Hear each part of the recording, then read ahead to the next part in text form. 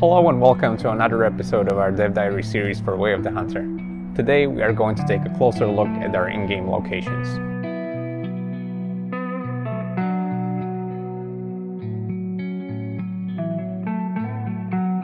Way of the Hunter has two locations, each with 144 kilometers square of playable area. The first is Nez Perce Valley in the American Pacific Northwest, and the second is Transylvania in Romania, Europe. It was very important to us that when players walk around these locations, they will feel immediately familiar if they had ever visited them in real life. You will quickly notice that the land in Transylvania is a bit more cultivated, with paved roads, small cottages, and centuries-old ruins. In comparison, Nez Perce Valley will immediately feel harsher and wilder, just like in real life. Both have their different habitats of grassland, swamp, lowland and highland forests, and mountains. These habitats have a distinct flora that's native to their real-life counterpart. But what's more important, they are home to their native animal species. This is not just to make the game feel more authentic and immersive. There is a good gameplay reason why you may want to learn where each of the animal species thrives.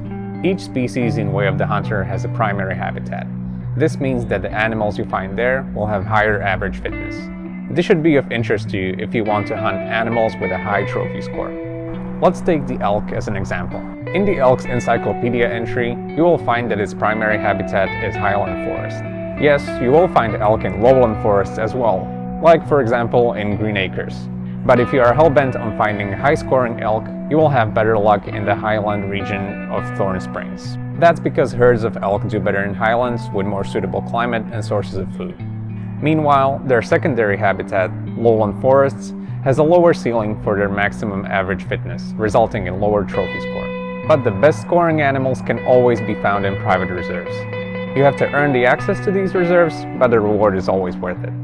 We see you on Discord and various forums trying to figure out how the systems of aging, fitness, and trophy score work together. On top of this tidbit, we will prepare a more comprehensive overview of how herd management and Way of the Hunter works in the future, so stay tuned for that. I'm sure you have also already noticed that you need to adapt your playstyle to the habitat you choose to hunt in. Open plains provide a comfortable line of sight while you hide in bushes or tall grass. But enter a forest and you quickly realize that things got a whole lot more difficult. Terrain and especially foliage will constantly get in the way of your shot, and you may not even notice an animal until it's too late and it's running away from you. On the other hand, mountainous regions are great if you enjoy glassing and shooting at long range, and I know for a fact that a lot of you enjoy that.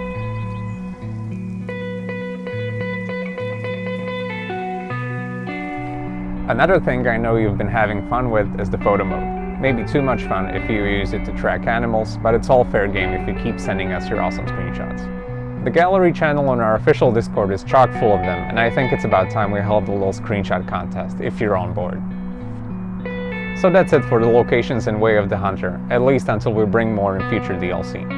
In the meantime, let us know which parts of the maps you enjoy hiking and hunting in. We'll see you again soon.